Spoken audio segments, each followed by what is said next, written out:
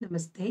ವಾಸವಿ ಸಾಹಿತ್ಯ ಕಲಾವೇದಿಕೆ ಅರ್ಪಿಸುವ ಕನ್ನಡ ಬಲ್ಲವರು ಓದಲೇಬೇಕಾದ ಪುಸ್ತಕಗಳ ಪರಿಚಯಾತ್ಮಕ ಸರಣಿ ಕಾರ್ಯಕ್ರಮದಲ್ಲಿ ನೂರ ಎಂಟನೆಯ ಕಾರ್ಯಕ್ರಮ. ಓದುತ್ತಿರುವ ಪುಸ್ತಕ ಮಹಾಬ್ರಾಹ್ಮಣ. ಮಹಾಬ್ರಾಹ್ಮಣ ಭಾಗ ಎಂಟು. ಕಳೆದ ವಾರದಲ್ಲಿ ನಾವು ವಿಶ್ವಾಮಿತ್ರ ಮತ್ತು ಜಮದಗ್ನಿಯವರ ಜೊತೆಗೆ ಮಾಡುವಂತಹ ಯಜ್ಞ, ತ್ರಿಶಂಕುವನ್ನ ಸ್ವರ್ಗಕ್ಕೆ ಕಳಿಸುವುದಕ್ಕೆ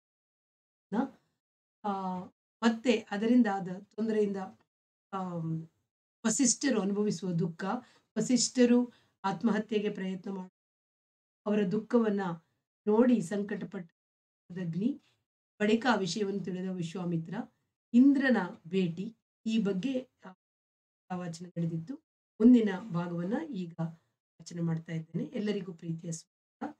ಇಪ್ಪತ್ತ ಆರನೆಯ ತರಂಗ. ಇಂದ್ರನು ಹೇಳಿದುದನ್ನು ಕೇಳ ಕೇಳುತ್ತಾ ವಿಶ್ವಾಮಿತ್ರನಿಗೆ ಬೆಪ್ಪು ಹಿಡಿದಂತಾಯಿತು. ವಸಿಷ್ಠನು ವೃತ್ರವ್ಯತೆಯನ್ನು ರಥಂತರ ಸಾಮದಿಂದ ಕಳೆದನೆಂದರೆ ಜಿಜ್ಞಾಸುವಾದ ಬುದ್ಧಿಯು ತಾನು ರಥಂತರ ಸಾಮ್, ಸಾಮವನ್ನು ಹೇಳಿ, ಅದರಿಂದ ಏನೇನೋ ವಿಚಿತ್ರ ಫಲಗಳಾವುವು ಅದನ್ನೆಲ್ಲ ನೋಡಬೇಕು ಎನ್ನಿಸಿತು. ಬೀಜವಾದ ರುಕ್ಕನ್ನು ಸಾಮವಾಗಿ ಹಾಡಿ, ಅದರಲ್ಲಿ ಅಡಗಿರುವ, ಅಡಗಿ ಕುಳಿತಿರುವ ಅಕ್ಷರ ಶಕ್ತಿಗಳನ್ನು ಪ್ರಸ್ತಾರ ಮಾಡಿ, ಪರೆಯಲ್ಲಿ ಅಡಗಿರುವ ಚಿಚ್ಚಕ್ತಿಯ ಸ್ವರೂಪವನ್ನು ವೈಖರಿಗೆಳೆದುಕೊಂಡು, ತಂದು ಅವ್ಯಕ್ತವಾಗಿ, ಶಕ್ತಿ ಪ್ರಪಂಚವನ್ನು ವ್ಯಕ್ತವಾಗಿ ಜಗತ್ತಿನಲ್ಲಿ ಪ್ರಕಟಿಸುವ ಹಂಬಲ ತಾನೇ ತಾನಾಗಿ ಆಯಿತು. ವಸಿಷ್ಠನು ದೇವತೆಗಳು ಕೊಟ್ಟ ಕಾಮಧೇನುವನ್ನು ಬೇಡವೆಂದು ಹಿಂದಿರುಗಿಸಿಕೊಟ್ಟನು. ಮತ್ತೆ ದೇವತೆಗಳೇ ಹೋಮಧೇನುವಾಗಿರಲಿ ಎಂದು ನಂದಿನಿಯನ್ನು ಕೊಟ್ಟರು ಎಂಬುದನ್ನು ಕೇಳಿ ಆ ಮಹಾನುಭಾವನು ದಿಟವನ್ನೇ ಹೇಳಿದರು, ತಾನು ಅವನ ಮಾತನ್ನು ನಂಬದೆ ಕ್ರೋಧ ಹಿಡಿದುದು ನೆನಪಾಗಿ ತನ್ನ ಮೇಲೆ ತನಗೆ ಜಿಗುಪ್ಸೆ ಉಂಟಾಗಿ ಎಂತಹ ನೀಚ ಸ್ವಭಾವ ತನ್ನದೆನಿಸಿತು. ಆತನಿಗೆ ದುಃಖ ಉಂಟಾಗುವುದು ಲೋಕ ಕ್ಷೇಮಾರ್ಥವಾಗಿ ಎಂಬುದನ್ನು ಕೇಳಿ ಒಂದು ತರದ ಸಮಾಧಾನವಾದರೂ. ಆ ದುಃಖಕ್ಕೆ ತಾನು ಕಾರಣನಾದನೆಲ್ಲ ಎಂದು ಆತನಿಗೂ ದುಃಖವಾಗಿ ಏನಾದರೂ ಮಾಡಿ ಅದನ್ನು ಕಳೆಯಬೇಕು ಎನ್ನಿಸಿತು. ಏಕಾಗಬಾರದು ತ್ರಿಶಂಕುವನ್ನು ಸ್ವರ್ಗಕ್ಕೆ ಸ್ವರ್ಗಕ್ಕೆ ಕಳುಹಿಸುವುದು ತಪೋಬಲವಾದರೆ ವಸಿಷ್ಠನ ಶೋಕವನ್ನು ಕಳೆಯುವುದಕ್ಕೆ ಅದೇ ತಪೋಬಲವಾಗಬಾರದೇಕೆ? ಎನ್ನಿಸಿತು. ಆ ವೀರ ವೃತ್ತಿಯು ಬಲಿತು. ತಾನೇ ತಾನಾಗಲು ಮುನ್ನುಗ್ಗುತ್ತಿದ್ದರು ದೇವ ರಾಜನ ಎದುರಿಗೆ ಅದನ್ನು ಮರೆಯದೆ ಅದನ್ನು ಅಂಕೆಯಲ್ಲಿಟ್ಟುಕೊಂಡು ವಿನಯದಿಂದ ಒಳ ಕೊರಗಿನಿಂದ ಕುಗ್ಗಿ ಮನಸ್ಸಿನಲ್ಲಿರುವ ಕುದಿಯನ್ನು ಕನ್ನಡಿ ಹಿಡಿದು ತೋರಿಸುತ್ತಿರುವಂತೆ ಸೊರಗಿರುವ ದನಿಯಿಂದ ಕೇಳಿದನು. ದೇವರಾಜ, ವಸಿಷ್ಠ ಮಹರ್ಷಿಯ ಶೋಕವನ್ನು ನಿವಾರಿಸಲು ಏನು ಉಪಾಯವಿಲ್ಲವೇ? ದೇವರಾಜನು ಹೇಳಿದನು, ಇಲ್ಲದೇ ಇಲ್ಲ. ಅಥವಾ ಇಲ್ಲದಿದ್ದರೂ ಅದನ್ನು ಸೃಷ್ಟಿಸುವುದಕ್ಕೆ ಅವಕಾಶವಿಲ್ಲದೆ ಇಲ್ಲ. ದುಃಖ ಮೂಲವನ್ನು ಹಿಡಿದು ಅದನ್ನು ಅಲ್ಲಾಡಿಸಬೇಕು. ಅದನ್ನು ಮಾಡಲು ಈ ಲೋಕದಲ್ಲಿ ಶಕ್ತರಾದವರು ಬಹುಜನರಿಲ್ಲ. ದೇವತೆಗಳಿಗೆ ಇತರರ ಸುಖ ದುಃಖಗಳ ವಿಚಾರದಲ್ಲಿ ಅಷ್ಟು ಆಸಕ್ತಿ ಇಲ್ಲ. ದೇವತೆಗಳು ಯಾವಾಗಲೂ ತಾವು ತಮ್ಮ ಭಕ್ತರು ಎಂಬ ಆದಷ್ಟು ಸಂಕುಚಿತ ಪ್ರವಾ, ಪ್ರಪಂಚವನ್ನು ಮಾತ್ರ ನೋಡಿಕೊಂಡು ತಮ್ಮ ತಮ್ಮ ಕಾರ್ಯಗಳನ್ನು ತಾವು ವಹಿಸಿಕೊಂಡು ಹೋಗುವ ಸ್ವಭಾವದವರು. ಕ್ಷುದ್ರ ದೇವತೆಗಳು ಹಿಂಸೆಯನ್ನು ಕೊಡಬಲ್ಲರೇ ಹೊರತು ಸುಖವನ್ನು ಕೊಡಲಾರರು. ಅದರಲ್ಲೂ ಈಗಂತೂ ಈ ದುಃಖವು ಕಾಲಧರ್ಮವಾಗಿ ಬಂದಿದೆ ಎಂದ ಮೇಲಂತೂ ದೇವತೆಗಳು ಏನೂ ಮಾಡಲಾರರು. ನೀನೇ ಅಪ್ಪಣೆ ಕೊಡಿಸಿದೆಯಲ್ಲವೇ? ಈ ದುಃಖವನ್ನು ನಿವ- ನಿವಾರಿಸಬಲ್ಲವರು ಬಹುಮಂದಿ ಇಲ್ಲವಾದರೂ ಕೆಲವರಾದರೂ ಇರುವರೆಂದು. ಅವರು ಯಾರು? ಹೇಳು. ಅವರನ್ನೇ ಆಶ್ರಯಿಸೋಣ. ವಸಿಷ್ಠರ ದುಃಖವು ನಿವಾರಣವಾಗಲಿ. ದೇವೇಂದ್ರನು ನಕ್ಕನು. ಆಗಲಿ. ಹೇಳುವೆನು ಕೇಳು. ಮೊದಲನೆಯವನು, ಮೊದಲನೆಯವರು ಅರುಂಧತಿ ದೇವಿ. ಆಕೆಯು ಪತಿ ದುಃಖವನ್ನು ನುಂಗಬಲ್ಲವಳು. ಆದರೆ ದುಃಖವು ಆಕೆಯದು, ಪತಿಯದಲ್ಲ. ಅರುಂಧತಿಯು ಆ ದುಃಖವನ್ನು ವಹಿಸಿಕೊಂಡರೆ ಅವರ ಹೃದಯವು ನಿರ್ಭಿನ್ನವಾಗುವುದೆಂದು ವಸಿಷ್ಠರು ಅದನ್ನು ವಹಿಸಿಕೊಂಡರು. ಆಕೆಗೆ ಸಾಧ್ಯವಾದರೆ ಆ ದುಃಖವನ್ನು ಒಂದು ದಿನ ವಹಿಸಬಲ್ಲವಳಾದರೆ ಆಕೆಯು ಆ ದುಃಖವನ್ನು ಕರಗಿಸಿ ದ್ರವ ಮಾಡಿ ಹೊರಕ್ಕೆ ಬಿಟ್ಟು ಬಿಡಬಲ್ಲಳು. ಆ ಪುತ್ರ ಶೋಕದ ದುಃಖವನ್ನು ಆ ಮಾತೃ ಹೃದಯ ತಡೆಯಲಾರದು. ಎರಡನೇ ಮಹಾನುಭಾವನು ವಾಮದೇವ ಮಹರ್ಷಿಯು. ಆತನು ಉಪಾಸನಾ ಬಲದಿಂದ ರುದ್ರನನ್ನು ತನ್ನನ್ನು ಆವಾಹಿಸಿಕೊಂಡಿರುವ ಮಹಾಪುರುಷನು. ಆತನು ಬೇಕಾದರೆ ಈ ದುಃಖವನ್ನು ತಾನು ವಹಿಸಿಕೊಂಡು ತನ್ನಲ್ಲಿರುವ ರುದ್ರ ಪೌರುಷದಿಂದ ಅದನ್ನು ಭಿನ್ನ ಭಿನ್ನವಾಗಿ ಕತ್ತರಿಸಿ ಗಾಳಿಗೆ ತೂರಬಹುದು. ಮೂರನೆಯ ಮಹಾಪುರುಷನು ಅತ್ರಿಯು. ಆತನು ಆ ದುಃಖವನ್ನೆಲ್ಲ ಆಕರ್ಷಿಸಿ ಒಂದು ಘನವನ್ನಾಗಿ ಮಾಡಿ ಒಂದು ಕಡೆ ಇಟ್ಟು ಬಿಡಬಲ್ಲನು. ಆದರೆ ಆ ದುಃಖವು ಈ ಮೂರು ರೂಪದಲ್ಲಿ ಯಾವ ರೂಪದಲ್ಲಿದ್ದರೂ ಕರಗಿ ನೀರಾಗಿ ಹರಿದರೂ, ಧೂಳಾಗಿ ಗಾಳಿಯಲ್ಲಿ ಹಾರಿದರೂ, ಘನವಾಗಿ ಪರ್ವತವಾಗಿ ಕುಳಿತರೂ ಅದು ಇದ್ದೇ ಇರುವುದು. ಲೋಕಕ್ಕೆ ಅದರಿಂದ ಆಗಬೇಕಾದ ಉಪಕಾರವು ಆಗದೆ ಹೋಗುವುದು. ಆದ್ದರಿಂದ ಈ ದುಃಖವನ್ನು ವಸಿಷ್ಠರು ಅನುಭವಿಸಿ ತೀರಿಸಿ ಬಿಡಲಿ ಎಂದು ದೇವತೆಗಳು ಸುಮ್ಮನಿರುವರು.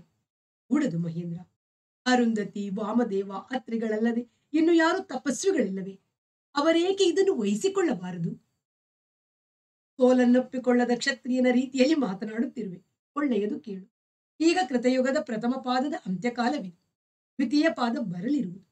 ಈ ಬ್ರಹ್ಮಾಂಡವನ್ನು ರಚಿಸಿರುವ ಪಂಚಮಹಾಭೂತಗಳ ಶಕ್ತಿಯು ಈಗ ಇದುವರೆಗೆ ಪೂರ್ಣವಾಗಿ ಷೋಡಶಕಲಾ ಪೂರ್ಣವಾಗಿತ್ತು. ಈಗ ಇವುಗಳ ಶಕ್ತಿಯು ಒಂದು ಕಲೆಯಷ್ಟು ಕಡಿಮೆಯಾಗಬೇಕು. ಈ ಕಲೆಯು ಕಡಿಮೆಯಾಗದಂತೆ ಕಾಪಾಡುವವರು ಸಪ್ತರ್ಷಿಗಳು. ಅವರ ಈ ಕಾಲಕ್ಷಯಕ್ಕೆ, ಅವರು ಈ ಕಾಲಾಕ್ಷಯಕ್ಕೆ ಒಪ್ಪಿರುವವರು.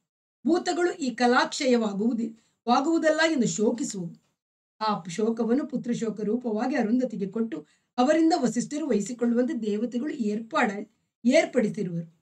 ಇದಕ್ಕಾಗಿ ಕಾಲಧರ್ಮವನ್ನು ಕಾಪಾಡುವ ಕಲಿಪುರುಷನು ವಸಿಷ್ಠರಿಂದ ಅಪ್ಪಣೆಯನ್ನು ಪಡೆದಿರುವನು. ಆ ಕಾಲವು ಇಷ್ಟೆಂದು ನಿಯಮಿತವಾಗಿರುವುದು. ಅದುವರೆಗೆ ಏನು ಮಾಡಲಾಗುವುದಿಲ್ಲ. ವಿಶ್ವಾಮಿತ್ರ ಮಾತನ್ನು ಕೇಳಿ ಕರುಳು ಕೊರೆದಂತಾಯಿತು. ಸಂಕಟವು ತಾನೇ ತಾನಾಯಿತು. ದೇವರಾಜ, ಈ ವಸಿಷ್ಠ ಶೋಕವು ಕೊನೆಗಾಣಬೇಕು. ಇನ್ನು ಯಾರೂ ಇಲ್ಲದಿದ್ದರೆ ನಾನಿರುವೆ. ನಾನು ಈಗ ಮಾಡಿರುವ ತಪಸ್ಸು ಸಾಲದು ಎಂದರೆ ನಾನು ಮುಂದೆ ಮಾಡಲಿರುವ ತಪಸ್ಸು ಹೊಣೆ ಮಾಡಿಕೊಂಡಾದರೂ ಈ ಶೋಕ ನಿವಾರಣೋಪಾಯವನ್ನು ತಿಳಿಸು. ಅಂತೂ ಈ ಶೋಕವನ್ನು ಕಡೆಗಾಣಿಸು. ದೇವರಾಜನ ಯೋಚನಾ ಪರ ಆತನು ಸುಮ್ಮನಿರುವುದನ್ನು ಕಂಡು ಕೌಶಿಕನಿಗೆ ದುಃಖವಿನ್ನು ಹೆಚ್ಚಿತು. ಕಣ್ಣೀರು ಕರೆಯಿತು. ಉಮ್ಮಳವು ಹೆಚ್ಚಿ ಉಸಿರು ಅಸ್ತವ್ಯಸ್ತವಾಯಿತು. ದೇಹವೆಲ್ಲ ಶೋಕ ಭಾರದಿಂದ ಕಂದಿ ಕಾಂತಿಹೀನವಾದಂತೆ ತೋರಿತು. ಮುಖದ ತೇಜಸ್ಸು ಕಂದಿತು. ಶಿವ ಶಿವ ಎಂತವರಿಗೆ ಎಂತಹ ವಿಪತ್ತು? ಅಬ್ಬಾ, ಎಂದು ಮುನೀಂದ್ರನು ಶೋಕ ವಿಹ್ವಲನಾದನು ದೇಹವು ನಿಲ್ಲಲಾರದೆ ಕುಳಿತು ಬಿಟ್ಟಿತು. ಕುಳಿತಿರಲಾರದೆ ಇನ್ನೇನು ಬಿದ್ದು ಹೋಗಬೇಕು? ಮಣ್ಣು ಎನ್ನುವುದನ್ನು ನೋಡದೆ ಹೊರಳಬೇಕು? ಆಗ ದೇವೇಂದ್ರನು ಇತ್ತು ತಿರುಗಿ, ಕೌಶಿಕ, ಏನಿದು? ಮರೆತೆಯ? ವಸಿಷ್ಠನು ನಿನ್ನ ಪೂರ್ವ ಶತ್ರು ಆತನನ್ನು ಏನಾದರೂ ಮಾಡಿ ಮುರಿಯಲೇಬೇಕೆಂದು ರುದ್ರನನ್ನು ಒಲಿಸಿಕೊಂಡು ಮಹಾಸ್ತ್ರಗಳನ್ನು ಪಡೆದು ತಂದಿದ್ದೆ, ಮರೆತೆಯ. ಈಗ ಆತನಾಗಿ ಆತನೇ ದುಃಖ ಸಂವಿಗ್ನ ಮಾನಸನಾಗಿ ಒದ್ದಾಡಿದರೆ ಒದ್ದಾಡಲೇಳು ನಿನಗೇನು ನಷ್ಟ? ಇಷ್ಟಾಪತ್ತಿಯಲ್ಲವೇ? ಎಂದನು. ವಿಶ್ವಾಮಿತ್ರನಿಗೆ ಈ ಮಾತನ್ನು ಕೇಳಿ ಚುಚ್ಚಿದಂತಾಗಿ ಕೋಪ ಬಂತು. ಆ ಕೋಪದಲ್ಲಿ ದುಃಖವು ಒಂದಿಷ್ಟು ಪಕ್ಕಕ್ಕೆ ಸರಿಯಿತು. ಎದ್ದು ನಿಂತನು. ಭ್ರುಕುಟಿಯು ಬದ್ಧವಾಗಿ ಮೇಲಕ್ಕೆ ನೆಗೆಯಿತು. ಮೂಗಿನ ಹೊಳ್ಳೆಗಳು ಅರಳಿದವು. ತುಟಿಗಳು ಒಂದಕ್ಕೊಂದು ಒತ್ತಿಕೊಂಡವು ದೇಹವು ನಿಮಿರಿಕೊಂಡು ಯೋಗ ಯೋಗ ವಟ್ಟದಂತೆ ದಿಟ್ಟವಾಗಿ ನಿಂತುಕೊಂಡಿತು. ಒಂದು ಗಳಿಗೆಯು ಮುಂಚೆ ನೀರು ಕಾರಿದ ಕಣ್ಣಿನ ಕೆಂಪು, ಆ ನೀರಿನ ಒದ್ದೆಯೂ ಸೇರಿ ವಿಚಿತ್ರವಾಗಿರುವ ಆ ನೋಟದಿಂದ ಕೌಶಿಕನು ಹೇಳಿದನು, ಪುರಂದರ, ಅಂತಹದ್ದೊಂದು ವಿಷಮ ಭಾವವು ಒಮ್ಮೆ ಈ ಹೃದಯ ರಂಗದಲ್ಲಿ ತಾನೇ ತಾನಾಗಿ ತಾಂಡವವಾಡಿದ್ದುಂಟು. ಈಗ ಅದಿಲ್ಲ. ಈಗ ನಾನು ವಿಶ್ವಾಮಿತ್ರ. ಲೋಕದಲ್ಲಿರುವ ಚರಾಚರಗಳಿಗೆಲ್ಲ ನಾನು ಮಿತ್ರ. ನನ್ನಿಂದ ಯಾರಿಗೂ ವಿಷ ಜಂತುಗಳಿಗೂ ಕ್ರಿಮಕೀಟಗಳಿಗೂ ಹಿಂಸೆಯಾಗ ಕೂಡದು ಕೌಶಿಕನ ಮಾತು, ಮಾತನ್ನು ವಿಶ್ವಾಮಿತ್ರನಿಗೆ ಹೇಳುವುದು ಯಾವ ನ್ಯಾಯ? ನೀನು ಮೂರು ಲೋಕದ ಅಧಿಪತಿ ಸ್ವರ್ಗ, ಮರ್ತ್ಯ, ಪಾತಾಳಗಳಲ್ಲಿ ಇದ್ದ, ಇರುವ, ಇರಬರುವ ಎಲ್ಲವೂ ನಿನ್ನ ಅಪ್ಪಣೆಗೆ ಒಳಗಾದುದು. ಆದ್ದರಿಂದ ಯಾವುದಾದರೂ ಒಂದು ದಾರಿಯನ್ನು ಹೇಳು. ನ ನಿನ್ನಿಂದಲೇ ಆದುದು. ನೀನು ಹೋಗಿ ವಸಿಷ್ಠ ಪುತ್ರರನ್ನು ಕೆಣಕಿ ನೀನೇ ಅವರ ವಿನಾಶಕ್ಕೆ ಕಾರಣನಾದೆ ಎನ್ನುವೇ ಏನು ಅದರಿಂದಲೇ ನಾನು ಈಗ ಕೇಳುತ್ತಿರುವೆ ನಿನ್ನ ರಹಸ್ಯವನ್ನರಿಯದೆ ತಿಳಿದ ಇನ್ನೊಂದು ರಹಸ್ಯವನ್ನು ಉಪಯೋಗಿಸಲು ಹೊರಟು. ಇಷ್ಟೆಲ್ಲ ಅನರ್ಥವಾಗಿರುವುದು. ಈ ಅನರ್ಥವನ್ನು ತಪ್ಪಿಸಲು ಸಹಾಯ ಮಾಡಲಾರೆಯಾ? ಎಂದು ಕೇಳಿಕೊಂಡನು. ಮತ್ತು, ಮಾತು, ಮನಸ್ಸು, ಮೈಯು ಎಲ್ಲವೂ ಮೃದುವಾಗಿ ಸ್ನೇಹ ಸುಂದರವಾಗಿ ಸುಖಮಯವಾಗಿ, ಕೃತಜ್ಞ ಸ್ತೋತ್ರದ, ಸ್ತೋತ್ರದಂತೆ ಹಿತವು ಪ್ರಿಯವೂ ಆಗಿತ್ತು. ಇಂದ್ರನು ಸಂತುಷ್ಟನಾಗಿ ನಕ್ಕು ಹೇಳಿದನು. ಹೌದು, ಕೌಶಿಕನು ವಿಶ್ವಾಮಿತ್ರನಾಗಿರುವನೆಂದೇ ನಾನು ಜಮದಗ್ನಿಯ ಮಾತಿಗೊಪ್ಪಿ ದರ್ಶನವನ್ನು ಕೊಟ್ಟದ್ದು. ಇಲ್ಲದಿದ್ದರೆ ನನ್ನನ್ನೇ ಕಿತ್ತೆಸೆಯಲು ಸಿದ್ಧನಾಗಿದ್ದ ನಿನಗೆ ನಾನು ದರ್ಶನ ಕೊಡಲು ಸಿದ್ಧನಾಗುತ್ತಿದ್ದೇನೆ. ಆದರೆ ನೀನು ಒಂದು ಕೆಲಸ ಮಾಡು. ಆತನೀಗ ಅರ್ಧ ದುಃಖವನ್ನು ಅನುಭವಿಸಿರುವನು. ದೇಹ ದೇಹದಲ್ಲಿಯೂ ಇರುವ ಇಂದ್ರಿಯಗಳು ನನ್ನವು. ನಾನು ವಸಿಷ್ಠರ ದೇಹದಲ್ಲಿರುವ ಇಂದ್ರಿಯಗಳ ಶಕ್ತಿಯನ್ನು ಆಕರ್ಷಿಸಿ ಅವುಗಳ ಬಲವನ್ನು ಕುಗ್ಗಿಸುವೆನು. ಅದರಿಂದ ಅವು ಈ ದುಃಖವನ್ನು ಸಹಿಸಲಾರದೆ ಮೂರ್ಛೆ, ಮೂರ್ಛೆಯನ್ನು ಪಡೆಯುವು. ಈಗ ಕಳೆದಷ್ಟು ದಿವಸ ಆತನು ಮೂರ್ಛೆಯಲ್ಲಿರುವನು. ಈ ಶೋಕ ಕಾಲವೆಲ್ಲ ಕಳೆದ ಮೇಲೆ ಉಳಿಯುವಷ್ಟು, ಉಳಿಯುವ ದುಃಖವೆಷ್ಟು ಇರುವುದು, ಅದನ್ನು ನೀನನ್ನು, ನೀನು ಅನುಭವಿಸಲು ಸಿದ್ಧನಾಗುವೆಯಾ? ವಿಶ್ವಾಮಿತ್ರನು ಒಪ್ಪಿದನು. ಇಂದ್ರನ ದಯೆಯಿಂದ ವಿಶ್ವಾಮಿತ್ರನ ಕಣ್ಣು ಹೊರಳಿ ವಸಿಷ್ಠನನ್ನು ಕಂಡಿತು. ಹಿಂದೆ ಭಸ್ಮೋದ್ಧೂಳಿತ ಗಾತ್ರನಾಗಿ ಪರಶಿವನಂತೆ ಮೆರೆಯುತ್ತಿದ್ದ ಬ್ರಹ್ಮಾನಂದ ಮೂರ್ತಿಯಾಗಿದ್ದ ಇಕ್ಷಾಕು ಕುಲ ಗುರುವು ಬಿಕಾರಿಯಾಗಿ ಬೈರಾಗಿಯಂತೆ ಮಲಿನ ವಸ್ತ್ರವನ್ನುಟ್ಟು ಮೈಯೆಲ್ಲ ಕೊಳೆ ಕೊಳೆಯಾಗಿ ನೋಡುವುದಕ್ಕೆ ಜುಗುಪ್ಸೆಯಾಗುವುದಂತೆ ಯಾವುದೋ ಬೆಟ್ಟದ ಬುಡದಲ್ಲಿ ಒಂಟಿಯಾಗಿ ಬೆಳೆದು ಅರುಕು ಮುರುಕಾಗಿ ನಿಂತಿರುವ ಮರದ ಬುಡದಲ್ಲಿ ಕುಳಿತಿದ್ದಾನೆ. ಕುಳಿತಿದ್ದಾರೆ. ಮೊದಲಿನ ವಸಿಷ್ಠರನ್ನು ಕಂಡವರು ಇವರನ್ನು ಗುರುತಿಸುವುದು ಕಷ್ಟ. ವಿಶ್ವಾಮಿತ್ರನು ಆ ದೃಶ್ಯವನ್ನು ಕಂಡು ಅಯ್ಯೋ ಎಂದು ಕಣ್ಣೀರು ಮಿಡಿದನು ಇಂದ್ರನು ಕೇಳಿದನು. ಹೇಳಿದನು ಬಲ್ಲೆಯ ವಿಶ್ವಾಮಿತ್ರ, ಈತನಿಗೆ ನಾನೀಗ ಮೂರ್ಛೆ ಒದಗಿಸಿದರೆ ಈತನು ಅನುಭವಿಸಿದ ದುಃಖದ ತೀವ್ರತೆಯು ಕಡಿಮೆಯಾಗುವುದು. ಆದರೆ ಅನುಭವ ಕಾಲದಲ್ಲಿ ಈ ಶೋಕವು ಶೇಷವಾಗಿ ಉಳಿಯುವುದು. ಆ ಶೋಕ ಶೇಷವನ್ನು ನೀನು ಅನುಭವಿಸುವುದು ಎಂದರೇನು? ಬಲ್ಲೆಯ? ನೀನಾಗಿ ನಿನ್ನ ಐವತ್ತು ಮಕ್ಕಳನ್ನು ಬಲಿ ಕೊಡಬೇಕು. ಸಿದ್ಧವಾಗಿರುವೆಯಾ? ವಿಶ್ವಾಮಿತ್ರನ ಮೌನವಾಗಿ ತಲೆಯಲ್ಲಾಡಿಸುವ ವಸಿಷ್ಠರು ಕುಳಿತಿದ್ದೆಡೆಯೇ ಮೂರ್ಛೆಯಲ್ಲಿ ಒರಗಿದರು. ಅವರ ಸುತ್ತಲೂ ಒಂದು ಗವಿಯಾಗಿ ಅದರ ಬಾಯಿ ಮುಚ್ಚಿ ಹೋಯಿತು. ಇಂದ್ರನು ವಿಶ್ವಾಮಿತ್ರನ ಕೃತಜ್ಞತೆಯ ವಂದನೆಗಳನ್ನು ಸ್ವೀಕರಿಸಿ, ವಿಶ್ವಾಮಿತ್ರ, ನೀನು ನಿಜವಾಗಿಯೂ ವಿಶ್ವಾಮಿತ್ರನಾಗಲು ಯೋಗ್ಯನು. ತ್ರಿಶಂಕುವಿಗೆ ನಿನ್ನ ತಪಸ್ಸನ್ನು ಸೂರೆಗೊಟ್ಟೆ. ವೈರವನ್ನು ಸಾಧಿಸುವೆನೆಂದು ತೊಟ್ಟಿದ್ದ ಪಣವನ್ನು ಮರೆತು ವಸಿಷ್ಠರ ಶೋಕವನ್ನು ವಹಿಸಿಕೊಂಡೆ. ನಿನಗೆ ಮಂಗಳವಾಗಲಿ. ನಾನಿನ್ನು ಹೋಗಿ ಬರಲಿ ಎಂದನು.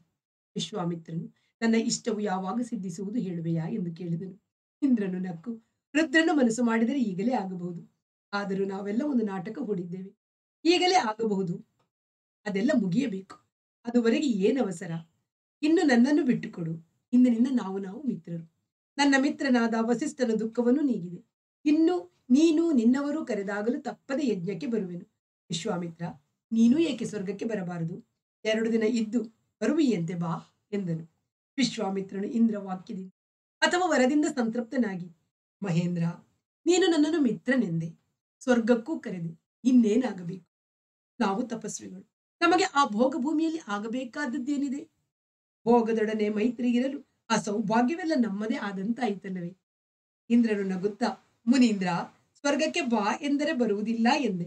ಇರಲಿ, ಸ್ವರ್ಗವೇ ನಿನ್ನ ಬಳಿಗೆ ಬಂದರೆ, ಆಗ ಏನು ಮಾಡುವೆಯೋ ನೋಡೋಣ. ಎಂದು ಮೃದುವಾಗಿ ನಕ್ಕು ವಿಶ್ವಾಮಿತ್ರನು ಒಪ್ಪಿಸಿದ ಉತ್ತರ ಪೂಜೆಯನ್ನು ಸ್ವೀಕರಿಸಿ ಅಂತರ್ಹಿತನಾದನು. ಇಪ್ಪತ್ತೇಳನೆಯ ತರಂಗ. ವಿಶ್ವಾಮಿತ್ರನು ಆ ಮರದಡಿಯಲ್ಲಿಯೇ ಇನ್ನೂ ಅಷ್ಟು ಗೊತ್ತು ಇಂದ್ರನು ಹೇಳಿದ, ಸ್ವರ್ಗಕ್ಕೆ ಕರೆದರೆ ಬರುವುದಿಲ್ಲವೆಂದೇ. ಸ್ವರ್ಗವೇ ನಿನ್ನ ಬಳಿಗೆ ಬಂದರೆ ಏನು ಮಾಡುವೆಯೋ ನೋಡೋಣ ಎಂಬ ಮಾತು ಇನ್ನು ಕಿವಿಯನ್ನು ಮೊಳಗುತ್ತಿತ್ತು. ಹೌದು, ಏನು ಮಹಾ? ನಾನು ತ್ರಿಶಂಕುವನ್ನು ಸ್ವರ್ಗಕ್ಕೆ ಕಳಿಸಬಲ್ಲೆನಾದರೆ ಸ್ವರ್ಗವೇ ನನ್ನ ಬಳಿಗೆ ಬರಬಾರದೇಕೆ? ಬಂದರೇನು ಮಹಾ? ಬರಲಿ, ನೋಡೋಣ. ಆಮೇಲೆ ಆ ಎಂದುಕೊಂಡು ಅಲ್ಲಿಂದ ಹೊರಟನು. ಇತ್ತ ಆಶ್ರಮದಲ್ಲಿ ಸಮಾರಾಧನೆಯ ಸಂಭ್ರಮ. ಜಮದಗ್ನಿ ಪತ್ನಿ ರೇಣುಕೆಯು ಶಿಷ್ಯರು ಮೊದಲಾದ ಆಶ್ರಮವಾಸಿಗಳೆಲ್ಲ ಬಲು ಓಡಾಟ ಮಾಡುತ್ತಿದ್ದಾರೆ. ಅವರಿವರ ಮಾತಿನಿಂದ ಕೌಶಿಕನಿಗೆ ಏನೋ ಕಾಮಧೇನು ಬಂದಿದೆ. ಎಂದು ಅರ್ಧರ್ಧವಾಗಿ ತಿಳಿದು, ಏನು ಇದು? ಮತ್ತೆ ಕಾಮಧೇನುವಿನ ಪ್ರಸಂಗ? ಎನಿಸಿದೆ. ಅಂತು ತನ್ನ ಪರ್ಣಶಾಲೆಗೆ ಬರುವುದರೊಳಗಾಗಿ ಎಲ್ಲವೂ ಅಷ್ಟಿಷ್ಟಾಗಿ ತಿಳಿಯಿತು. ದೇವತೆಗಳು ಜಮದಗ್ನಿಗೆ ಕಾಮಧೇನುವಿನ ಸಂತಾನವೊಂದನ್ನು ಹೋಮಧೇನುವಾಗಿ ಕರುಣಿಸಿದ್ದಾರೆ. ಆಕೆಯು ಬಂದಿದ್ದಾಳೆ. ಈ ದಿನ ಅತಿಥಿ ಪೂಜೆ ಆಕೆಗಿದೆ. ವಿಶ್ವಾಮಿತ್ರನಿಗೆ ಇದ್ದಕ್ಕಿದ್ದ ಹಾಗೆ ವಾಮದೇವನು ಹೇಳಿದ್ದು ನೆನಪಾಯಿತು. ಮತ್ತೆ ಇದೇ ದೇನುವೇ ಕಾರಣವಾಗಿ ಬ್ರಾಹ್ಮಣ ಕ್ಷತ್ರಿಯರ ಯುದ್ಧವಾಗುವುದು. ಮತ್ತೆ ರಾಜನೋ, ರಾಜನ್ಯನೋ ಬ್ರಾಹ್ಮಣ ದೇನುವನ್ನು ಬಯಸಿ ಶಾಂತವಾದ ಆಶ್ರಮ ಪದಗಳನ್ನೆಲ್ಲ ರೌದ್ರ ಕರ್ಮಗಳಿಂದ ಕ್ಷೋಭೆಗೊಳಿಸುವನು ನಗು ನಗುತ್ತಿರುವ ಈ ಆಶ್ರಮ ಭೂಮಿಯು ರಕ್ತಗಂಧವನ್ನು ಬಳಿದುಕೊಂಡು ರಣಾಂಗಣವಾಗಿ ವಿಕಾರವಾಗುವುದು. ಬ್ರಹ್ಮ ಚಿಂತನ ಮಾಡುವ ತಪಸ್ಸಿಗಳ ಆಶ್ರಮವಾಗಿರುವ ಈ ಭೂಮಿಯಲ್ಲಿ ಆಯುಧಗಳ ಜನ ಜನತ್ಕಾರಗಳು ತಲೆಗಳು ಉರುಳಾಡುವವು. ವಾಮದೇವನ ಮಾತು ಸುಳ್ಳೆನ್ನುವುದಕ್ಕೆ ಕಾರಣವಿಲ್ಲ. ಆತನ ಮಾತು ನಿಜವಾದರೆ ಕ್ಷತ್ರಿಯ ಕುಲಾಂತಕನಾದ ಭಾರ್ಗವನೊಬ್ಬನು ಬರಬೇಕು. ಬಂದಾಗ ವಿಶ್ವಾಮಿತ್ರನಿಗೆ ಇನ್ನೇ ಯೋಚನೆಯಾಯಿತು. ಹಾಗಾದರೆ ಈ ದೇವತೆಗಳು ಇಷ್ಟು ತುಂಟರೆ.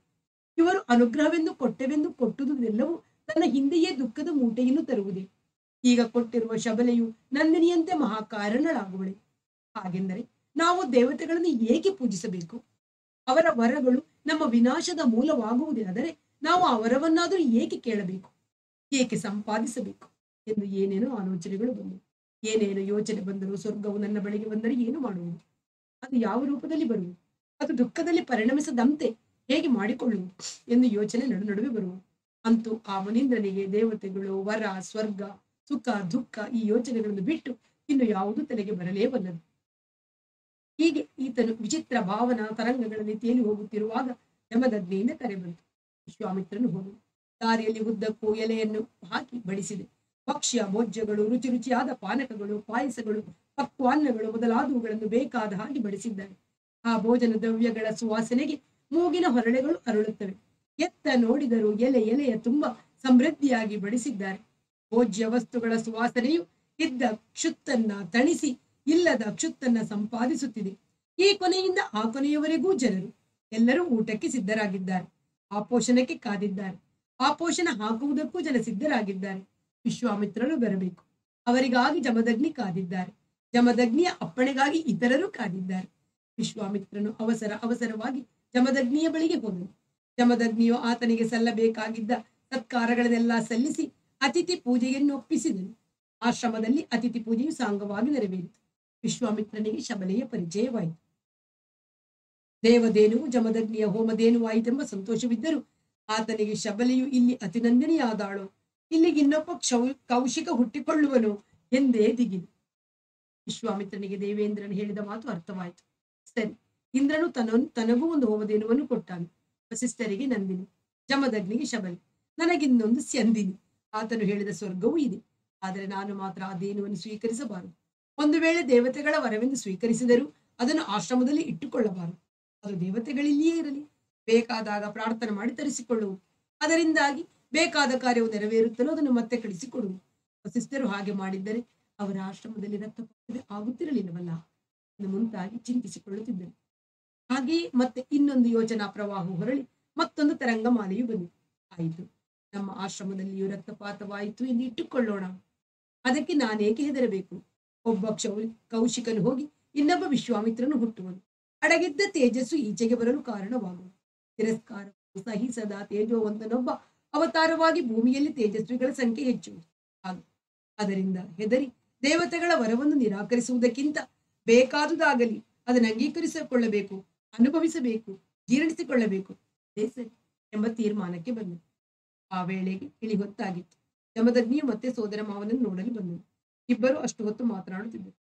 ಸ್ವಾಮಿತ್ರನು ಇಂದ್ರ ದರ್ಶನವಾದುದನ್ನು ಆತನು ಹೇಳಿದುದನ್ನೆಲ್ಲ ಹೇಳಿದನು. ಯಮದಗ್ನಿಯು ತಾನು ಮಾಡಿದುದನ್ನು ಹೇಳಿದನು. ಎಲ್ಲವೂ ಆದ ಮೇಲೆ ವಿಶ್ವಾಮಿತ್ರನು ಹಿಂದೆ ತನಗೆ ವಾಮದೇವನು ಹೇಳಿದುದನ್ನು ಹೇಳಲು ಜಮದಗ್ನಿಯು ಹೌದು ಹೌದು ಮಾವ ಹಾಗಾಗುವ ಸಂಭವವಿದೆ. ಅಂತಹ ಕ್ರೂರ ಕರ್ಮ ಮಾಡುವವನೊಬ್ಬನು ನನ್ನ ಹೊಟ್ಟೆಯಲ್ಲೇ ಜನಿಸುವನಂತೆ.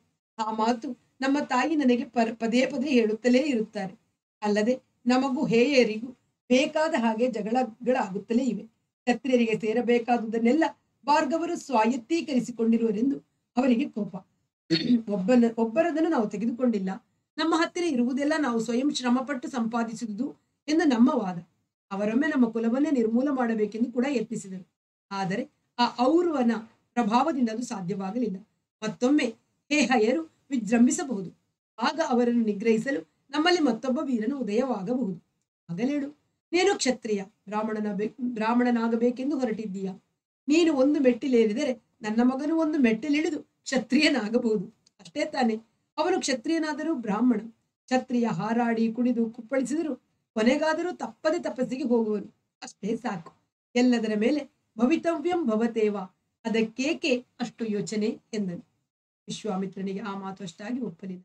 ಆದರೂ ಅದಕ್ಕೆ ಪ್ರತಿ ಆಡಲಿಲ್ಲ ಮುಂದೆ ಮತ್ತೆ ಆಶ್ರಮ ಕಟ್ಟುವ ಮಾತು ಬಂತು.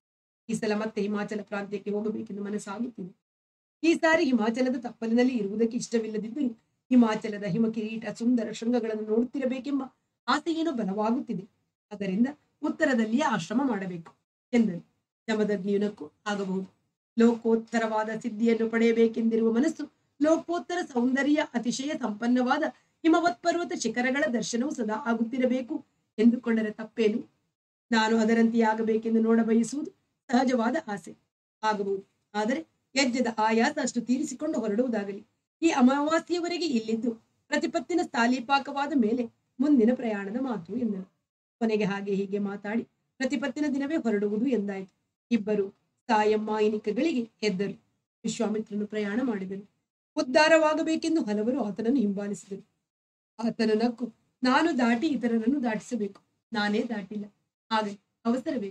ನಾನು ಕೃತಾರ್ಥನಾಗಿ ಒಂದು ಆಶ್ರಮವನ್ನು ಕಟ್ಟಿಕೊಂಡು ನಿಂತ ಮೇಲೆ ತಾವೆಲ್ಲರೂ ದಯಮಾಡುವಿರಂತೆ ಎಂದು ಸಮಾಧಾನದ ಮಾತುಗಳನ್ನು ಹೇಳಿ ಅವರನ್ನೆಲ್ಲ ಕಳುಹಿಕೊಟ್ಟು ತಾನು ಮುಂದೆ ಹೊರಟರು ಹಿಮಾಲಯದ ಕಡೆಗೆ ಹೋಗಬೇಕು. ವಾಮದೇವನ ಆಶ್ರಮದಲ್ಲಿ ಎರಡು ದಿನವಿದ್ದು ಮುಂದಕ್ಕೆ ಹೋಗುವುದು ಒಂದು ಆಸೆ. ಇಲ್ಲಿಯೇ ಸರಸ್ವತಿ ತೀರದಲ್ಲಿ ಇದ್ದು ಬಿಡೋಣ. ಆಮೇಲೆ ಹಿಮಾಲಯಕ್ಕೆ ಹೋಗುವುದು ಎಂದು ಇನ್ನೊಂದು ಮನಸ್ಸು. ಎಲ್ಲಿಯೇ ಇರಲಿ, ಈ ಸಲ ಏಕಾಂತವಾಗಿರಬೇಕು. ಯಾರಿಗೂ ತಾನು ಇರುವುದು ತಿಳಿಯಬಾರದು. ಈ ಸಲ ಸಿದ್ಧವಾಗುವವರೆಗೂ ಸಾಧ್ಯವಾದ ಮಟ್ಟಿಗೂ ಮೌನವನ್ನು ಅವಲಂಬಿಸುವುದು. ಇನ್ನು ಹಲವು ಆಲೋಚನೆ. ಆಯ್ತು. ಈ ಸಲದ ಸಿದ್ಧಿ ಏನು? ರುದ್ರನ ಅನುಗ್ರಹವಾಯಿತು. ಅಸ್ತ್ರ ಸಿದ್ಧಿ ಆಯಿತು. ಅಪೋದೇವಿಯವರ ಅನುಗ್ರಹವಾಯಿತು. ಸೃಷ್ಟಿಯ ರಹಸ್ಯವು ಅರ್ಧಾರ್ಧವಾಗಿ ಅರ್ಧಾರ್ಧವಾಗಿ ತಿಳಿಯಿತು. ಅಶ್ವಿನಿ ದೇವತೆಗಳ ಅನುಗ್ರಹವಾಯಿತು. ದೇಹವನ್ನು ಶುದ್ಧಿ ಮಾಡುವುದಂತೂ ಎಂದು ತಿಳಿಯಿತು. ಇಂದ್ರನ ಅನುಗ್ರಹವಾಯಿತು. ಬೇಕಾದ್ರೆ ಸ್ವರ್ಗಕ್ಕೆ ಹೋಗಿ ಬರುವುದು ಎಂದು ಆಯ್ತು. ಅಥವಾ ಸ್ವರ್ಗವೇ ನನ್ನ ಬಳಿಗೆ ಬರುವಂತಾಯ್ತು. ಆದರೂ ನನಗೆ ಬೇಕಾದ್ದು ಇನ್ನೂ ಬಂದಿಲ್ಲ. ಬಂದವರೆಲ್ಲ ಬರುವುದು. ನಿನ್ನ ಆಶೆಯು ಕೈಗೂಡುವುದು ಎಂದು ನಂಬಿಕೆ ಕೊಡುತ್ತಿದ್ದಾರೆ. ಆದರೂ ಕೈಗೂಡಿಲ್ಲವಲ್ಲ. ದೇವಗಿರುವು ಮಾತ್ರ ಕಾಮ ಕ್ರೋಧವನ್ನು ಬಿಟ್ಟರೆ ನೀನು ಬ್ರಾಹ್ಮಣನಾಗುವೆ ಎಂದು. ಆದರೆ ಬ್ರಾಹ್ಮಣ್ಯವು ಬಿಡುವುದರಲ್ಲಿ ಇರುವುದೇ? ಇಲ್ಲ.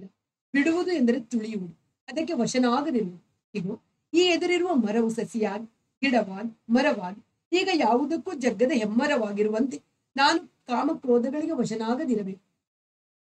ಅಷ್ಟು ಸಾಮಾನ್ಯವೇ. ಕೇಳುವಷ್ಟು ಸುಲಭವೇ. ಒಂದು ವೇಳೆ ಆಯಿತು ಎನ್ನೋಣ. ಕಾಮಕ್ಕೆ ವಶನಾಗದೆ ಕ್ರೋಧಕ್ಕೆ ಬಲಿಯಾಗದೆ ಇರುವೆನು ಎನ್ನೋಣ. ಆಗ ಮನಸ್ಸಿನ ವ್ಯಾಪಾರಕ್ಕೆ ಕಾರಣ ಯಾವುದು? ಯಾವುದನ್ನು ಕುರಿತು ಹಂಬಲಿಸುವುದು? ಯಾವುದರ ಹಂಬಲದಿಂದ ಮನಸ್ಸು ವ್ಯಾಪಾರದಲ್ಲಿ ತೊಡಗುವುದು? ಯಾಕೆ ಹಾಗೆ ಆಲೋಚಿಸಬೇಕು? ಮನಸ್ಸು ರಾಜಪುರುಷನಂತಾಗುವುದು.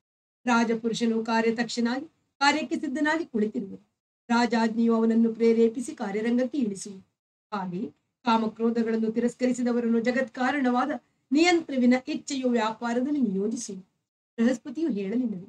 ಅಂತಹ ನಿಯಂತ್ರ ಒಬ್ಬನಿರುವನೆಂದು ಆತನ ನಿಯತಿಯಿಂದಲೇ ವಸಿಷ್ಠ ಪುತ್ರನ ಮರಣವಾಯಿತೆನು.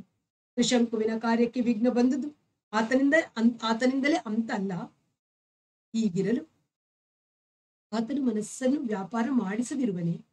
ಹೌದು. ಆ ನಿಯಂತ್ರವನ್ನು ಹಿಡಿಯಬೇಕು. ಆದರೆ ನನ್ನ ಮನಸ್ಸು ಇನ್ನೂ ಅತ್ತ ಕಡೆಗೆ ತಿರುಗಿಲ್ಲ. ನನ್ನ ಮನಸ್ಸಿಗೆ ಕಾಮಕ್ರೋಧಗಳು ಬೇಕಾಗಿರುವಷ್ಟು ಅದನ್ನು ತುಳಿಯುವುದು ಬೇಕಾಗಿಲ್ಲ. ನಂದಿನಿಯು ಬೇಕು ಎನಿಸಿತು. ಅದು ಸಿಕ್ಕಲಿಲ್ಲ. ಕೋಪ ಬಂತು. ಕೋಪ ಕ್ರೋಧವಾಯಿತು. ವಸಿಷ್ಠನ ಮೇಲೆ ನನ್ನದೇನು ನಡೆಯುವುದಿಲ್ಲ ಎಂದು ಗೊತ್ತಾದ ಮೇಲೆ ಈಗ ವಿಶ್ವಾಮಿತ್ರನೆಂದು ಹೆಸರಿಟ್ಟುಕೊಂಡು ಹೊರಟಿದ್ದೇನೆ. ನಾನೀಗ ಮಾಡುತ್ತಿರುವ ಪ್ರಯತ್ನವು ತಾನೇ ಏನು? ಕ್ರೋಧ ತನ್ನ ಹೊರ ರೂಪವನ್ನು ಬಿಟ್ಟು ಮತ್ತೆ ಬೀಜ ರೂಪಕ್ಕೆ ಹೋಗಿ. ಮರವನ್ನು ಕಡಿದಿದೆ. ಆದರೆ ಮರದ ಬೀಜ ಶಕ್ತಿ ಎಲ್ಲಿಗೆ ಹೋಗಿದೆ? ಅರಳಿಯ ಮರವನ್ನು ಕಡಿದು ಬೇರೆಲ್ಲ ಶೋಧಿಸಿದರು. ಕೈಗೆ ಸಿಕ್ಕದೆ ಮರೆಯಲಿದ್ದ ಯಾವುದೋ ಬೇರು ಅಲ್ಲಿಯೇ ಚಿಗುರಿಕೊಂಡು ಹೆಮ್ಮರವಾದಂತೆ ನನ್ನ ಕಾಮವು ಈಗ ಇತ್ತ ತಿರುಗಿದೆ. ಬ್ರಾಹ್ಮಣನಾಗುವ ಈ ಹಂಬಲವೂ ಕೂಡ ಕಾಮವಲ್ಲವೇನು? ದೇವರ ದೃಷ್ಟಿಯಲ್ಲಿ ಎಲ್ಲಕ್ಕೂ ಒಂದು ಸ್ಥಾನವಿದೆ ಎಂಬುದನ್ನು ಮರೆತು ಸರ್ವ ರಕ್ಷಕನಾದ ಕ್ಷತ್ರಿಯನಾಗಿರುವುದೇ ಒಂದು ಅದೃಷ್ಟ ಎಂಬುದನ್ನು ಗಮನಿಸದೆ ಕಾಮಕ್ರೋಧ ವಶನಾಗಿಯೇ ಸರ್ವ ಸರ್ವಸಂಹನಾದ ಬ್ರಾಹ್ಮಣನಾಗಬೇಕೆಂದು ಹೊರಟಿದ್ದೇನೆ. ನಾನು ಯಾರಂತಾಗಬೇಕೆಂದು ಯತ್ನಿಸುತ್ತಿರುವೆನೋ ಅವನು ಅದೆಷ್ಟು ಮೇಲಿನ ಮಟ್ಟದವನು? ಅಬ್ಬಾ, ಆ ಮಟ್ಟಕ್ಕೆ ಇರುವುದು ಸಾಧ್ಯವೇ? ಪಂಚಭೂತಗಳ ಶೋಕವನ್ನು ವಹಿಸುವುದೆಂದರೆ ಸಾಮಾನ್ಯವೇ? ಇಂದ್ರನಿಗೆ ಹಿಡಿದಿದ್ದ ಭೂತವನ್ನು ಬಿಡಿಸುವುದು ಸುಲಭವೇ? ಸರ್ವಸಂಹನಾಗುವುದು ಅಷ್ಟು ಕಷ್ಟವಿರಲಾರದು. ತನ್ನ ತಂದೆಯಾದ ಕುಶಿಕನು ಚವನ ಮಹರ್ಷಿಯಿಂದ ಆದ ವ್ಯತೆಯನ್ನೆಲ್ಲ ಸಹಿಸದನೆಂದು ಕೇಳಲಿಲ್ಲವೇ? ನನ್ನ ತಂದೆಗೆ ಸಾಧ್ಯವಾದದ್ದು ನನಗೂ ಸಾಧ್ಯವಾಗಬೇಕು. ಆದರೆ ಅಹಂಕಾರವನ್ನು ತ್ಯಜಿಸುವುದೆಂದು? ಪ್ರತ್ರ ಬಾಧೆಯನ್ನು ವಸಿಷ್ಠನು ಕಳೆದುದು ಅಹಂಕಾರವನ್ನು ಗೆದ್ದುದರಿಂದ ಸ್ವಯಂ ಇಂದ್ರನೇ ಹೇಳಿದನು. ಯಾವುದನ್ನು ಬಿಟ್ಟರೆ ನಾನು ಎನ್ನುವುದೇ ಇಲ್ಲವಾಗುವುದು, ಅದನ್ನು ಬಿಡುವುದೇ? ಅಲ್ಲಿಗೆ ಏನು ಉಳಿದಂತಾಯಿತು? ವ್ಯಕ್ತಿತ್ವವಿಲ್ಲದ ಜೀವನವನ್ನು ಬಹುಶಃ ಆಗ ಕಾಮಕ್ರೋಧಗಳು ಇಲ್ಲದಿರಬಹುದು. ದೇವಗುರುವು ಹೇಳಿದುದು ಇದನ್ನೇ ಏನು? ಕಾಮಕ್ರೋಧಗಳು ಇಲ್ಲದವನು ಎಂದರೆ ಅಹಂಕಾರವನ್ನು ಗೆದ್ದವನು ಎಂದು ಅರ್ಥವೇ. ಸಾಧ್ಯವಿಲ್ಲ. ಸಾಧ್ಯವಿಲ್ಲ. ನನ್ನ ಮನಸ್ಸು ಇಂದು ಎಲ್ಲವನ್ನು ಬಿಡುವುದಕ್ಕೆ ಸಿದ್ಧವಾಗಿಲ್ಲ. ಮೊದಲು ಸೃಷ್ಟಿಯ ರಹಸ್ಯವನ್ನು ಭೇದಿಸುವೆ. ಇಂದ್ರನನ್ನು ಅಲ್ಲಾಡಿಸಲು ಹೊರಟ ಮನಸ್ಸು ಲೋಕದ ಒಂದು ಮೂಲೆಯಲ್ಲಾದರೂ ಕಿತ್ತು ಕಟ್ಟಬೇಡವೆ? ಬ್ರಾಹ್ಮಣನಾಗಲಿ ಆದರೆ ಆ ಶೋತ್ತರಗಳನ್ನೆಲ್ಲ ಕಿತ್ತಿಸುವುದಕ್ಕೆ ನನ್ನ ಮನಸ್ಸು ಸಿದ್ಧವಾಗಿಲ್ಲವಲ್ಲ? ಏನು ಮಾಡುವುದು. ವಸಿಷ್ಠನು ಅಹಂಕಾರವನ್ನು ಗೆದ್ದಿರುವನು. ವಾಮದೇವನು, ಅವನು ಅಹಂಕಾರವನ್ನು ಗೆದ್ದಿರಬೇಕು. ಅವನು ಯಾವಾಗಲೂ ಯಾವುದನ್ನು ಬೇಕು ಅಂದಿಲ್ಲ, ಬೇಡ ಅಂದಿಲ್ಲ. ಅವನನ್ನು ನಾನು ಬಲ್ಲೆ, ಆದರೆ ನಿಜವಾಗಿಯೂ ಬಲ್ಲೆನೆ. ಎಷ್ಟು ನೋಡಿದರೂ ಆತನು ಕಾಮಕ್ರೋಧಗಳಿಂದ, ಕಾಮಕ್ರೋಧಗಳಿಗೆ ವಶನಾಗಿ ಯಾವ ಕೆಲಸವನ್ನು ಮಾಡಿದಂತಿಲ್ಲ. ನಾವು ಒಬ್ಬರನ್ನು ಬಲ್ಲೆವು ಎನ್ನುವುದು ಏನು? ಅವನ ಆಶೋತ್ತರಗಳು, ಅವನ ಬೇಕು ಬೇಡುಗಳು ಇಷ್ಟೇ ನಮಗೆ ತಿಳಿದಿರುವುದು. ಅಲ್ಲಿಂದಾಚೆ ನಮಗೆ ತಿಳಿದಿರುವುದೇ? ಹಾಗಾದರೆ ಈ ಬೇಕು, ಬೇಡ ಎರಡು ಬಿಟ್ಟರೆ ವ್ಯಕ್ತಿಯಲ್ಲಿ ಏನು ಉಳಿದಿಲ್ಲವೇನು? ಇವೆರಡು ಅಲ್ಲದೆ ಇನ್ನು ಏನು ವ್ಯಕ್ತಿಯಲ್ಲಿ ಇಲ್ಲವೇ ಇಲ್ಲವೇ? ಹೌದು, ಇನ್ನು ಉಳಿದಂತಿಲ್ಲ. ನೀರಿನ ರುಚಿ, ಬಣ್ಣ, ತಂಪು ಬಿಸಿ ಯಾವುದು ನೀರಿನದಲ್ಲ, ನೀರಿಗೆ ಅದೊಂದು ಇಲ್ಲ. ಆದರೂ ಇದು ಯಾವುದೂ ಇಲ್ಲದೆ ನೀರನ್ನು ಕುಡಿ, ಕಂಡಿರುವವರು ಯಾರು? ಆದ್ದರಿಂದ ಕಾಮಕ್ರೋಧವನ್ನು ಸಂಪೂರ್ಣವಾಗಿ ಬಿಟ್ಟು ಬಿಡುವುದೆಂತು? ಅದರಿಂದ ಕಾಮಕ್ರೋಧವನ್ನು ಬಿಡುವುದು ಎಂದರೆ ಇನ್ನೇನೋ ಒಂದು ರಹಸ್ಯವಿರಬೇಕು. ಆ ರಹಸ್ಯವನ್ನು ಭೇದಿಸಬೇಕು. ಸೃಷ್ಟಿಯ ಮೂಲವೇ ಕಾಮ ಎನ್ನುವಂತಿರಲು ಅದನ್ನು ತುಳಿಯುವುದು ಎಂದರೆ ಅದಕ್ಕೆ ನಮಗೆ ತಿಳಿಯದ ಅರ್ಥವಿರಬೇಕು. ಅಂತೆ ಏನೋ, ಇನ್ನು ಏನೇನೋ ಯೋಚಿಸಿಕೊಂಡು ವಿಶ್ವಾಮಿತ್ರನು ಮುಂದೆ ನಡೆದನು. ಅಂತೂ ಯಾವ ಆಶ್ರಮದಲ್ಲೂ ತಂಗಲಿಲ್ಲ. ಯಾರ ಕಣ್ಣಿಗೂ ಬೀಳಲಿಲ್ಲ. ಕಾಡಿನಲ್ಲಿ ಮಳೆಯಾದಾಗ ಮೇಲಿನಿಂದ ಇಳಿದು ನೀರು ಯಾವ ಕಣ್ಣಿಗೂ ಬೀಳದೆ ಎಲ್ಲೆಲ್ಲೋ ತಪ್ಪಿಸಿಕೊಂಡು ಓಡುವಂತೆ ಆತನು ಜನವಸತಿಯ ಕಡೆಗೂ ತಿರುಗದೆ ಗಂಗಾ ಯಮುನಾ ನದಿಗಳನ್ನು ದಾಟಿ ಸರಸ್ವತಿ ನದಿಯ ತೀರಕ್ಕೆ ಬಂದನು. ಇನ್ನು ಮುಂದಿನ ಭಾಗವನ್ನ, ಮುಂದಿನ ಭಾನುವಾರ ಅಲ್ಲಿವರೆಗೆ ನಮಸ್ಕಾರ. ವಾಸವಿ ಸಾಹಿತ್ಯ ಕಲಾವೇದಿಕೆ ಶೂನ್ಯ.